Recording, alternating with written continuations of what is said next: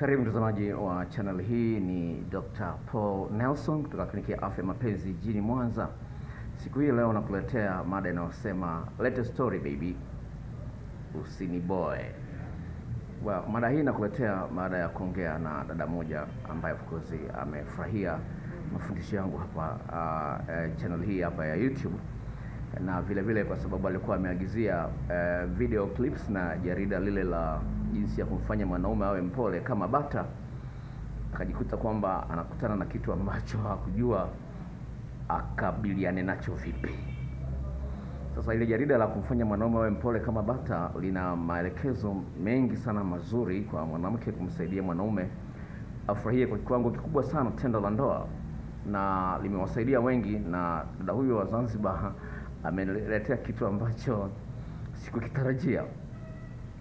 Well, amenipigia simu ya kwanza akinishukuru kwa video clips zile za jinsi ya kufanya mapenzi na mwanaume na ile jarida ambayo ina maelekezo mengi kidogo ya kumsaidia mwanamke aweze kumfurahisha mwanamke kitendo, lakini kitu alichoniuliza sikukitegemea na ni hiki, dokta, mwanaume wakati mnafanya lile tendo, alitumia neno hilo, mnafanya lile tendo, akawa anakuambia bebi nakupenda, sita sitakusaliti, eh, nitajitahidi kukuonyesha mapenzi yangu yote. Dokta, anamaanisha nini? Anamaanisha nini? Unaweza kuona kwamba mwanaume ambaye hajawahi kuambia kitu kama hicho, siku hiyo umempa vitu tofauti sana katika tendo la ndoa, alafu anakuambia vitu kama hivyo kwamba sitakusaliti, nitajitahidi kukufurahisha katika maeneo mbalimbali. Sasa dada hakutarajia kitu kama hicho ndani ya muda mfupi sana kutoka mwanaume aliye naye ni mumewe. Sasa baada ya kutana maneno kama hayo, baada ya kuweza kuongea naye, nimeweza kuongea naye kwenye simu, nikaanza kufikiria, sijui alitoa majibu gani, kwa sababu namba yake sijaisevu, kwa nikashindwa kumpigia. Kama atakuwa ananisikiliza hapa, naomba anipigie niweze kuongea naye zaidi bure, bila gharama. Kuongea na mimi shilingi elfu tano lakini nitaongea na wewe dada bure, bila gharama yote ile. Hivi ah, unapokuwa unaambiwa kitu jibu lako response yako ni ya muhimu sana, ili mtu aelewe ulipokea kile kitu, umekikubali kile kitu na umekipenda kile kitu. Unapokuwa umekikubali kile kitu, umekipokea, umekikubali, umekipenda, unamtia huyu mtu nguvu afanye mambo yale ambayo ameyaahidi. Kwa wale ambao wameangalia video yangu ile ya majanga ya siku ya Valentine, moja kati ya majanga ambayo yanatokea siku ya Valentine, unapewa zawadi ambayo huipendi. Sio kitu kizuri, sawa. eh, Kupewa zawadi ni kitu kizuri, ni afadhali usipate zawadi kabisa kuliko upewe zawadi ambayo huipendi. Sasa hivi, kwa hiyo mtu amekufanyia mambo mazuri, amezungumza mambo mazuri, alafu jinsi gani unayapokea yeye, unayapokea yale maneno yanamsaidia huyu mtu aone kwamba kweli umemkubali, kweli umempenda, na kweli unaamini anao uwezo wa kufanya lile ambalo amelisema au liahidi. Sasa mtu anaweza kuzungumza mambo, wewe ukachukulia utani, mwenzi yuko serious, unamvunja moyo. Sasa ninapozungumzia kwamba let a story baby, usiniboe, una uwezo ukamboa mtu ambaye amekusaidia. Hebu fikiria, umemsaidia mtu alafu huyu mtu akashindwa kukwambia asante. Umemsaidia sana sana, lakini hajakupa asante hata kidogo, haonyeshi moyo wa shukrani hata kidogo. Utafurahia, utarudia kumsaidia huyu mtu tena, itakuwa vigumu. Sawa bwana, kama hilo unakubaliana nalo, basi kama hilo unakubaliana nalo, basi ni jambo la msingi sana ufahamu kwamba lazima ujifunze kuitikia ahadi na maneno unayoambiwa na mpenzi wako.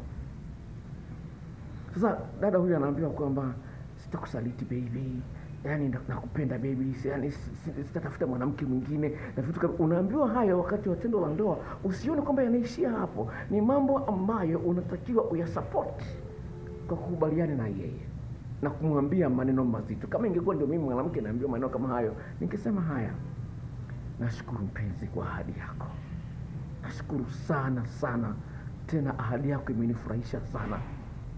Najua unanipenda mume wangu, najua unanipenda, lakini naomba uongezee upendo wako kama ulivyoahidi.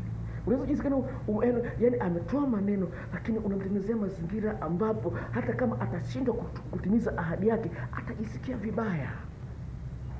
Lengo ni kuendeleza utamu wa uhusiano wenu. Pale mtu anapoanza kubadilika au anapoahidi mabadiliko, jinsi gani wewe unamsapoti, unamsaidia aone utamu kuendelea kubadilika kuwa mpenzi bora kwako. Sasa uh, unaweza kuwa mtu mzuri sana, una sura nzuri, una pesa nzuri, unajua matendo la ndoa vizuri, una una mambo mengi mengi mazuri, lakini kwenye eneo hili la maongezi ni eneo ambalo linapaswa vivyo litoe kipaumbele, kwa sababu ni eneo ambalo, ni eneo ambalo halihitaji gharama yote lile, halihitaji uzuri. Jinsi gani unalipamba eneo hili na kulishibisha itamsaidia sana. Kwenye Biblia, kwenye kitabu cha Mithali sura ya kumi na nane kama sikosei, mstari wa ishirini na moja kama sio sura kama sura na moja mstari wa kumi na nane ni Mithali kumi na nane ishirini na moja sema mtu atakula matunda ya mdomo wake na mdomo una uwezo wa kuua au kuhuisha, yaani mdomo una uwezo wa kufufua au kuua. Sasa ni maneno makubwa sana kwenye Biblia kwamba tunaona maneno ni kitu cha kawaida sana, lakini yana nguvu ya ajabu, kwa sababu maneno ni roho. Kwa hiyo maneno yale unayoongea kwa mpenzi wako yanaingia kwenye roho yake, na yeye anaongea yanakuja kwenye roho yako moja kwa moja, sio yanaingia kwenye akili pekee yanaingia mpaka kwenye roho. Sasa ili uweze kumbadilisha mtu lazima uingie kwenye, kwenye roho yake. Sasa hilo ni jambo ambalo watu wengi hawalijui, lakini wanashindwa kuelewa jinsi gani ya kuleta mabadiliko. Unakuwa ni mtu wa kulalamika siku zote, ni mtu wa kunung'unika siku zote, huna, huna shukrani. Kwa sababu gani? Hujui vitu gani ufanye kuleta mabadiliko sahihi na ya kudumu. Uh, mtu asiyekuwa na story ni mtu ambaye anakuzuia usiende sehemu nyingine ambapo unaweza ukapata burudani ukachangamka akachangamka kukaa na mtu ambaye anaboa. Sawa, lazima uwe na mazungumzo ambayo yanaleta msisimko. Sasa watu wengi hilo waliangalii jinsi gani unaweza kumshika mtu akili yake, ni jinsi gani unatengeneza mazingira ambapo anafurahia kukaa na wewe, anafurahia kuongea na wewe. Sasa watu wengi sasa hivi imekuwa ni shida.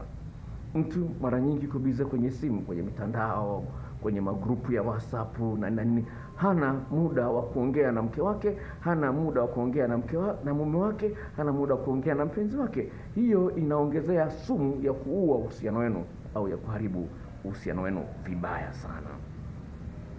Sasa hebu fikiria, kuna marafiki wangapi wanakuomba urafiki kwenye Facebook lakini huna muda kuongea nao, lakini kuna watu special ambao unachati una nao mara kwa mara, kwa sababu gani? Wanaleta wana, wana msisimko fulani, watu ambao hawajui kidogo, inakuwa ni shida. Kwa hiyo unachati na mtu kwa sababu analeta mazungumzo mazuri. Sasa unaposhindwa kuleta story inayonoga, sawa, unaposhindwa kuleta story inayonoga, unampa uzito mwenzio. Shida ni kwamba mwenzio atashindwa kuambia kwamba unaniboa sawa, atashindwa kukuambia unaniboa, atakuwa na kusikiliza. Kwa hiyo unaendelea kusikiliza, unaendelea kuongea, unadhania mwenzio anasikiliza, unadhania mwenzio anafurahia, kumbe unamboa na unamuudhi. Sasa wewe unapoona amekaa kimya, hachangii lolote, mwenzio anaamini kwamba ni ruhusa kwake kuendelea kuongea wakati wewe unaboreka tu. Unapomwona mpenzi wako amekaa kimya, unaongea sana, lakini amekaa kimya, uenda anaboreka. Sasa wewe unavyoendelea kuongea, wewe unafikiria kwamba amekupa ruhusa wewe kuendelea kuongea kwa sababu hachangii lolote, kumbe ameboreka. Sasa ni, vizuri sana uwe makini sana katika mahusiano ya kimapenzi ili uweze kuleta mazungumzo ambayo mwenzio hajawahi kuyaongelea au kwa muda mrefu hajawahi kuongelea. Sawa, kwa mfano uh, ushawahi kupiga mtu kofi kauliza kitu kama hicho uh, ushawahi kuuta ndoto mbaya ilikuwaje? Unaona vipi, ilikuwa kuna kitu gani ambacho katika maisha yako unajutia? Vitu kama hivyo hmm? Ni jambo la msingi sana ambalo napenda nikutie moyo ndugu mtazamaji wa chaneli kwamba uweze kujitune, kujiweka katika hali ambapo utaweza kuleta burudani katika mazungumzo vile vile. Sasa napozungumza uh, kuleta burudani ni kwamba sio unaongea tu unaongea, jitahidi kujisomea, kuangalia stori mbalimbali, na vile vile unapojua kwamba nitakutana na mpenzi wangu ah, nakuja nyumbani, nitatafuta stori moja nzuri ya kuongelea, sawa. Hata maswali ya kuuliza, unajua maswali yanaweza kaanzisha mazungumzo mazuri sana. Kwa mfano, mtu namuuliza swali, kama kama ingekuwa pesa sio tatizo, ingekuwaje katika maisha yako? Atakwambia sijui ningesafiri sana, sijui ningekuwa ningekuwa nafanya hivi sana, au ingekuwa hivi sana, kwenda disco sana, au unakula raha kwenye mahoteli makubwa kubwa, vitu kama hivyo. Tafuta tafuta story ya kuanzisha. Kwa hiyo katika mazingira kama of course unamsaidia mpenzi wako aone uthamani wako. Kwa hiyo hata anapokuwa na muda kukaa na wewe anajua nitafaidika. Sio anajua kukaa na wewe inakuwa ni hasara, haipendezi, inaleta machungu na unaonekana kwamba umepauka katika uhusiano uliomo. Hilo jambo la msingi. Mtazamaji, kama unaangalia channel hii kwa mara ya kwanza, naomba ujisajili ili uweze kuwa mwanachama wa channel hii niweze kutupa uh, video nyingine zaidi, na nitia moyo kuona kuna mtu mmoja ameongezeka kama mwanachama wa channel hii kujisajili na nitaendelea kuleta video mbalimbali mbali, na Mungu akubariki.